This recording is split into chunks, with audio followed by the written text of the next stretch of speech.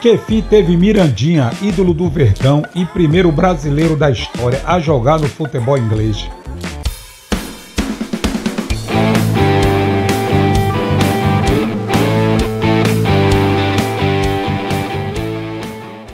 Mirandinha é um ex-jogador que atuava como centroavante, posição em que se destacou marcando muitos gols pelos clubes em que defendeu e na seleção brasileira nas décadas de 1980 e 1990. Meio, Mendonça recebe, vira na direita, soltou para Diogo, Diogo recebe, para Mirandinha na boca do gol, recolheu a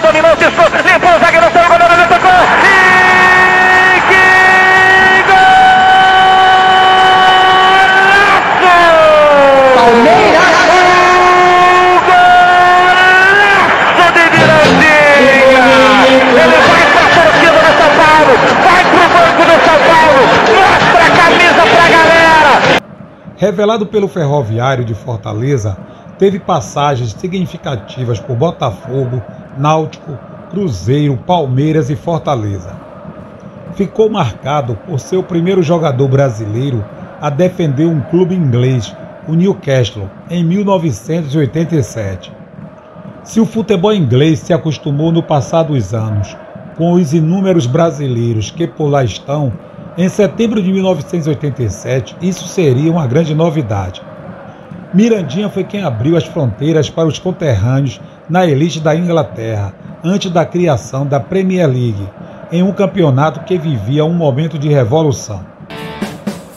Infância e início da carreira. Nascido em Aerolândia, na periferia de Fortaleza, Francisco Hernandes Lima da Silva teve uma infância dura, como a de tantos outros jogadores profissionais. Cresceu em uma família com sete irmãos, ajudando no sustento de casa. Trabalhou vendendo frutas e limpando vidros nos semáforos da cidade, além de também fazer bicos como pedreiro e sinaleiro. O futebol, mais uma vez, foi um elemento transformador. A carreira começou nas categorias de base do Maguari, tradicional clube cearense que voltava à ativa. A dissolução da agremiação, porém, interrompeu momentaneamente a trajetória do garoto. Depois de se frustrar em rápidas passagens por Ceará e Fortaleza, o atacante se encontrou no Ferroviário. Por lá, ganhou o apelido de Mirandinha, inspirado no atacante homônimo que na época fazia sucesso no São Paulo.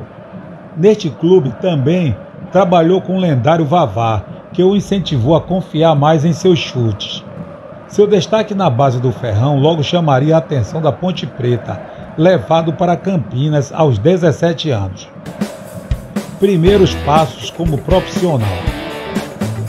A estreia de Mirandinha como profissional aconteceu rapidamente, numa ocasião um tanto quanto atípica. A Ponte Preta faria um amistoso contra a seleção da Tunísia, que se preparava para a Copa do Mundo de 1978. Entretanto, os problemas no ataque abriram uma brecha no banco de reservas para o cearense, que tinha começado muito bem nos juniores. E a lesão do atacante titular foi a deixa para que o novato mostrasse a sua estrela. Decidiu a partida anotando o gol da vitória por 1 a 0 sobre os tunisianos.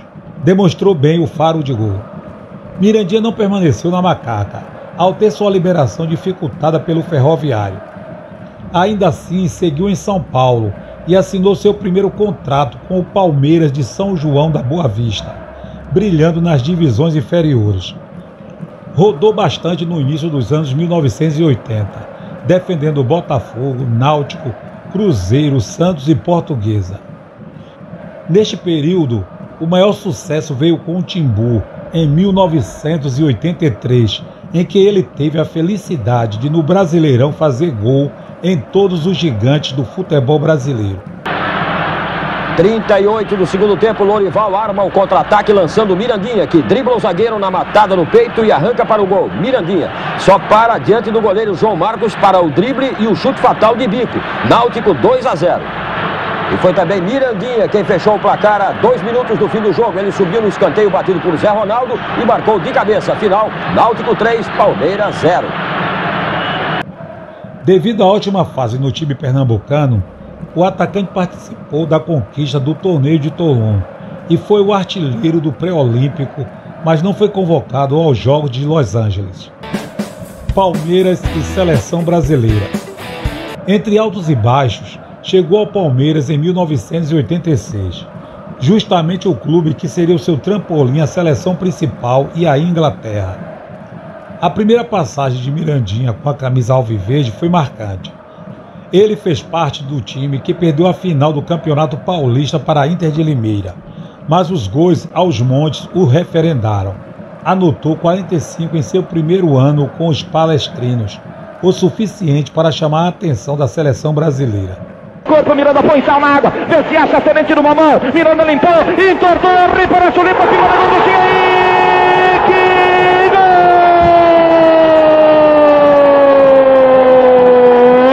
Palmeiras!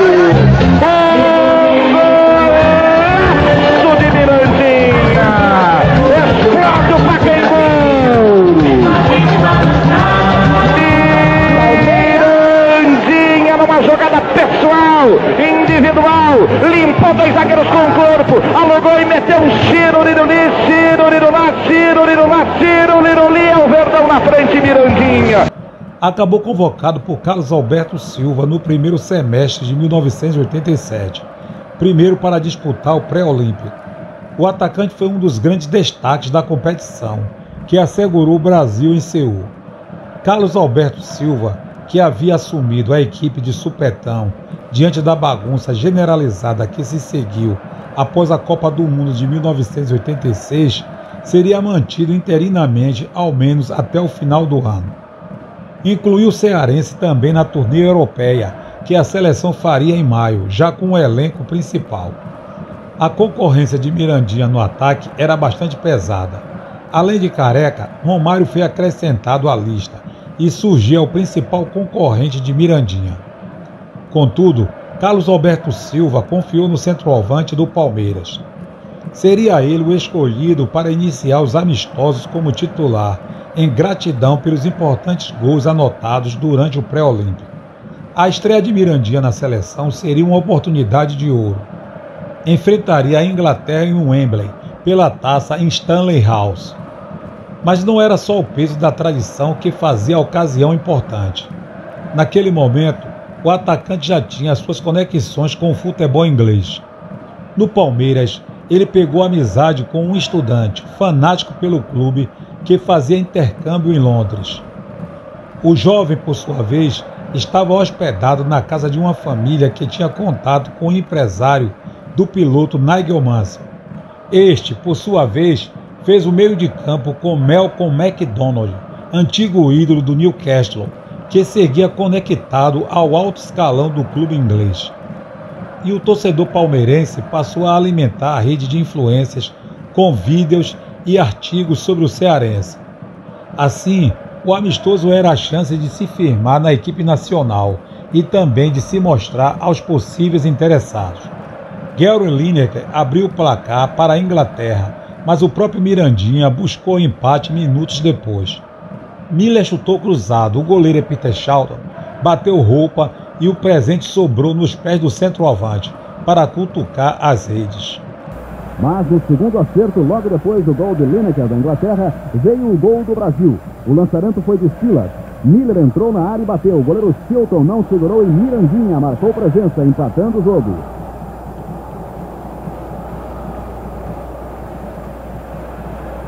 foi eleito o melhor em campo, responsável pelas principais oportunidades do ataque, sempre em jogadas individuais. Depois, o Brasil encarou a Escócia e mais uma vez os representantes do Newcastle estavam nas arquibancadas. Mirandinha passou em branco, mas fez o jogo de sua vida na vitória por 2 a 0. Foram várias arrancadas que incomodaram a defesa escocesa, e não só isso. Depois que Raí abriu o placar no segundo tempo, o palmeirense criou o segundo gol. Deu um belíssimo lançamento de trivela para Valdo, que entortou o marcador duas vezes e venceu o goleiro Andy Gora. O Brasil conquistava a taça Stanley House. De novo, Mirandinha foi eleito o melhor em campo. A certeza que os dirigentes do clube inglês precisavam.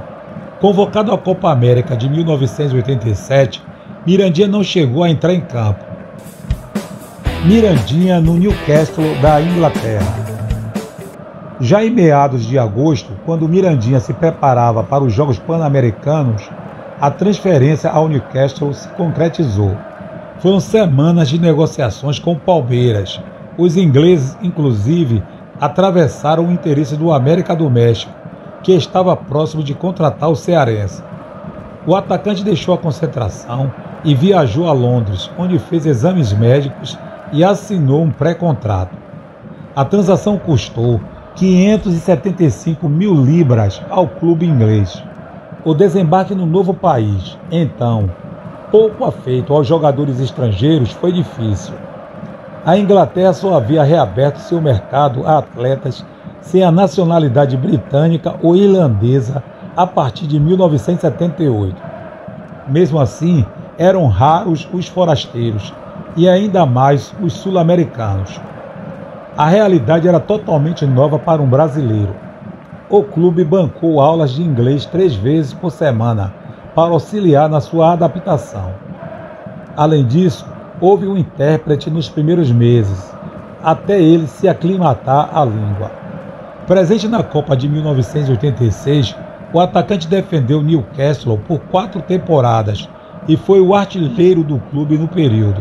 Saw him race onto Cornwall's punt upfield. Then his skill brought the ball under instant control and took him clean round Andy McAteer. Sheer power sent the ball rocketing past Barry Siddle. 2-2 now an aggregate with just 11 minutes gone. Malcolm McDonald, que foi intermediário na transferência, se tornou um tutor de Mirandinha no primeiro momento. Na chegada do atacante ao seu primeiro treino, o antigo artilheiro foi seu porta-voz. Fisicamente, Mirandinha não parecia o jogador talhado para o futebol inglês da época, especialmente por sua baixa estatura. Entretanto, aos 26 anos, estava em ótima forma. Combinava força e velocidade, passando pelos adversários em aceleração máxima. Além disso, gostava de chutar de qualquer canto, mesmo se tivesse companheiros livres ao lado, o que lhe valeu a fama de fominha. Treinou finalizações incessantemente e também se tornou cobrador nas bolas paradas. Passe não era uma palavra familiar a ele, e infelizmente o time não era bom o suficiente para deixá-lo aparecer quando se sentisse à vontade. A fonte de gols deu uma secada no primeiro semestre de 1988. Ainda assim, Mirandinha manteve o seu protagonismo no Newcastle, que terminou na oitava colocação do campeonato inglês. Foi o artilheiro do time com 13 gols, 11 deles na Liga Nacional, pela qual disputou 26 jogos. Depois houve mudanças do comando técnico da equipe e o camisa 9 marcaria apenas mais dois gols até dezembro. Os resultados eram péssimos. Para piorar, o atacante sofreu com problemas no tendão de Aquiles e mesmo artilheiro da equipe com nove gols, não evitou o rebaixamento do clube inglês. Palmeiras, outros clubes e exterior. Inicialmente emprestado ao Palmeiras, o atacante optou por permanecer no Brasil, visando suas chances na Copa do Mundo de 1990. Porém, sequer foi convocado por Sebastião Lazzaroni. Na final de 1990, voltou ao futebol cearense para defender a camisa do Fortaleza, clube em que teve duas passagens e encerrou a carreira em 1996. Liderou a equipe leonina na conquista do Cearense de 1991, marcando um golaço na final contra o Ceará, que terminou em 1 a 1, dando o título aos tricolores. Defendeu o Corinthians também em 1991, sendo contratado especialmente para a disputa da Libertadores da América daquele ano. Mirandinha teve passagem rápida pela equipe do Parque São Jorge, recebendo críticas por demonstrar um estilo individualista dentro de campo, ou seja, quando pegava a bola não tocava para ninguém. Fora do cenário do futebol brasileiro, Mirandinha ainda desbravou outros países. Teve uma rápida passagem pelo futebol português, pelo belenense, onde não teve sequência, pois, segundo ele, o clube não pôde arcar com os compromissos financeiros então firmados. Também jogou no Japão, onde ficou por três anos. Por onde anda a Mirandinha? Casado com Vivian, Miss Amazonas 2012, Mirandinha é pai de quatro filhos, sendo que um deles, Hernandes, chegou a fazer dupla diária com Luiz Fabiano no Rennes da França. No entanto, o garoto desistiu do futebol para retornar para a cidade de São João da Boa Vista, em São Paulo. Em 1996, Mirandinha começou a sua carreira de técnico no Ferroviário do Ceará. Em 2009, Mirandinha recebeu o convite de Paulo Pelaipe para assumir o cargo de auxiliar técnico no Fortaleza. Em 2013, o executivo e quase engenheiro Mirandinha foi um dos responsáveis pela construção do Castelão e foi mentor do Museu do Estádio. Mirandinha vive atualmente na cidade de Manaus, capital do Amazonas. Ele é bastante ativo em projetos sociais na região, especialmente aqueles que envolvem o esporte como ferramenta de inclusão social.